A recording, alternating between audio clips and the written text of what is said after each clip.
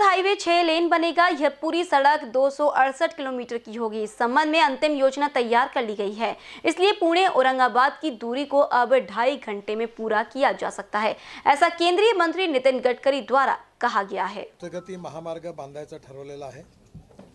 हा सहा लेनचा फ़र्स्ट फेजमध्ये आहे. ॲक्सिस कंट्रोल आहे. म्हणजे जसं मुंबई पुणे एक्सप्रेस हायवे होता, त्याच टाईपचा तीन तीन सहा लेनचा ॲक्सिस कंट्रोल आहे. पण याला पलीकडे एक आपण वीड पुष्कळ घेतली आहे. हा पुढे आपण आठ आठ म्हणजे सोळा लेनपर्यंत करू शकतो.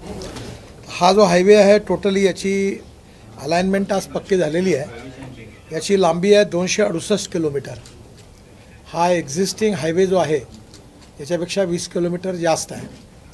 हा आपल्याला विशेषतः पुण्यावरून सुरू झाल्यानंतर पुण्याचा रिंग रोड. ऑलरेडी तो मंजूर झाला त्यातला काही पार्ट एन एच आय बांधताय. त्या रिंग रोडमध्ये तुम्हाला सोपी समजण्याकरता पुणे मुंबई रस्त्यावर सुरसे उर्से नावाचा टोल नाका आहे. त्या टोल नाक्याला टोल नाक्यावरून आपण डायरेक्ट निघालो की रिंग रोडने डायरेक्ट एका पॉईंटवर जे येऊ तिथून और एक बंगलोरला जाईल. ज्यात पुणे ते बंगलोर साडेतीन तासात रस्ता होईल नवीन हायवे बांधला जाईल. आणि तो तिथून एक पॉईंट जो आहे तो पुणे अहमदनगरच्या बाहेरून हा साधारणतः पाथर्डी वगैरे भागातून येऊन पैठणच्या बाहेरून हा आपल्या इथे संभाजीनगरला जा जालन्याच्या पुढे कुठला? बिडकन शेंद्राच्या पलीकडे जाईल.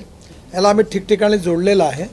याच्यामुळे पुणे ते औरंगाबाद जे अंतर आहे ते केवळ अडीच तासात पूर्ण होईल. आणि याच्यातून सगळ्यात मोठा फायदा असा आहे की या रस्त्याने जात असताना याला एक सुरत आणि दक्षिणेकडे चेन्नई हायवे मिळणार आहे. त्यामुळे तिथून आपण त्या सोलापूरच्या आणि अहमदनगरच्या मध्ये जो हायवे तो येणार आहे तिथे मिळेल. तिथून आपण डायरेक्ट सुरतला गेलो तर मुंबई दिल्ली हायवेला जाता येईल. आणि यातून इथून वरती गेलो तर बंगलोरला जाता येईल. आणि समृद्धी मार्गाला जोडलं तर नागपूरला जाता येईल. म्हणजे एक प्रकारे हा औरंगाबाद ते बंगलोर औरंगाबाद ते दिल्ली आणि औरंगाबाद ते नागपूर असा एकत्र म्हणजे हा हायवे सगळ्याचा द्रुतगती महामार्ग मिळेल. त्यामुळे याच्यातून एकदम फायदा होऊन दुसरा मागासलेल्या भागातून जाणार आहे. म्हणजे अहमदनगर जिल्ह्यातला जो दुष्काळी भाग आहे तिकडं त्यामुळे तिकडे डेव्हलपमेंट चांगली होईल. याचा खर्च जवळपास बारा हजार कोटी रुपये आहे. आता याचं डी पी आर सुरू केलेलं आहे.